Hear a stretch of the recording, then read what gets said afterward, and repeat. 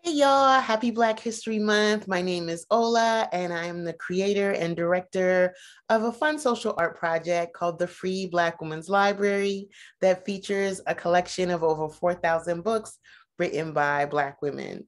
Now, part of what steers and guides the work I do with the library is the legacy and work of Black librarians throughout history, throughout time.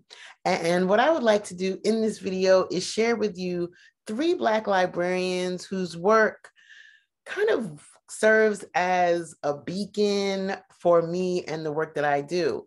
Um, I consider them to be like spiritual mentors or ancestral guides or spirit guides in my head. But anywho, let's get started. Let's get into it. Now, the first woman I'm going to talk about is the woman named Dorothy Porter. Now, Dorothy Porter is a Gemini. Um, she was born in 1904 in Virginia. And part of her claim to fame is the creation of the Moorland Spingarn Research Center, which is located on Howard University's campus.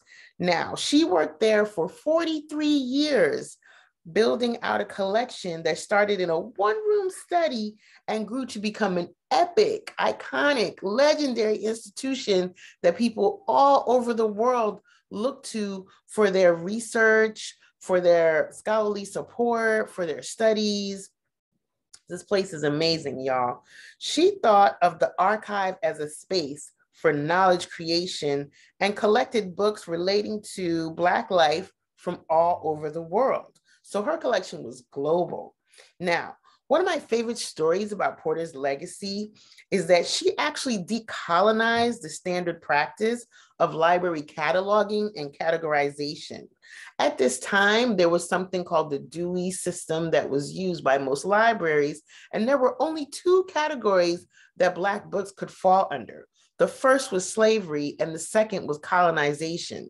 And she was like, not feeling that because, of course, as we know, Blackness is so much more than those two things. So she created a whole new system for classifying books that included art, anthropology, commerce, economics, and so on and so forth. So it's thanks to her that some of the systems that librarians use today in their libraries exist. Hurrah, hooray for Dorothy. Now, she was not only a librarian, she was also a writer, a mentor, a curator, and a cultural worker who traveled the world, as I said, collecting materials for Black scholarly consumption. Now, the second person I would like to talk to you about is a woman named Mayme Agnew Clayton.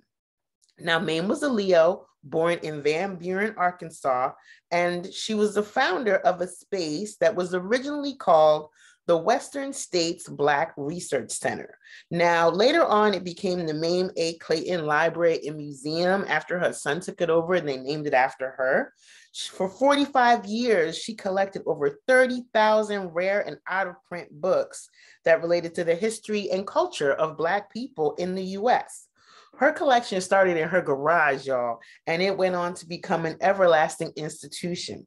Now, not only did she collect books, but she also collected films, documents, photos, artifacts, and works of art. Now, I'm going to go on to discuss the third person so that my video is not too long. I want to talk to you about Mollie Houston Lee, a Capricorn born in Columbus, Ohio, and the first Black librarian of Raleigh, North Carolina. Now, Mollie started at Shaw University, and it was there that she first recognized the need for a Black library. Like she felt that it was something that the community needed and wanted from the engagements that she was having at Shaw. So it was in 1935 while living in Raleigh that her and some comrades gathered themselves together and met with the mayor and demanded, requested, asked for a Black library. And they started it that same year in a storefront with 890 books. Now, a huge chunk of her 38 career as a librarian involves opening and growing this space that is known as the Harrison Public Library. And guess what, y'all? That space still exists to this very day. A lot of these spaces, actually, all these spaces that I'm mentioning, still exist to this very day, hundreds of years later, which I find absolutely amazing. Now, The fun thing about the Harrison Public Library is that not only was it a safe space for folks to gather together and learn, but it also provided multiple cultural and social programs, dances, literary society meetups, cotillions, fun stuff for the entire community. And Mollie was so determined in making sure that this was a community space that if people couldn't come to the library, she would bring the library to them. You'll see photos of her online, visiting people in hospitals and community centers and churches and in their homes with a stack of books. It's a beautiful thing. So, this library started, oh, I said that already. This library started with 890 books and so on and so forth. So, Black librarians and Black archives are sacred and important. They provide a physical historiography of Black life. They also allow us a portal into our past, present, and future. They are so necessary. And I see the Free Black Women's Library as a tool that pushes back against the systematic devaluation of Black womanhood. Shout out to Bell Hooks. I am so grateful for the love and the legacy of these Black women librarians that I've shared with you. There is so much more out there. Like, do you know who else worked in the library? Audre Lorde. Do you know who else worked in the library? Toni Morrison. Do you know who else worked in the library? Zora Neale Hurston. Hello, all the cool kids worked as librarians or archivists or they're book collectors or they're readers or they're critical thinkers or just basically seekers and gatherers of knowledge and information.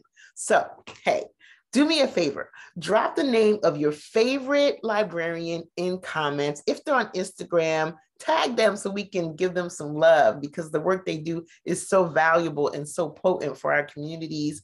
And also, hmm, let me know the title of your favorite book written by a Black woman that you have in your book collection.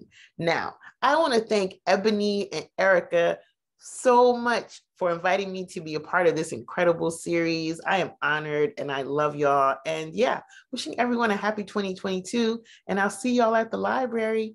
Bye.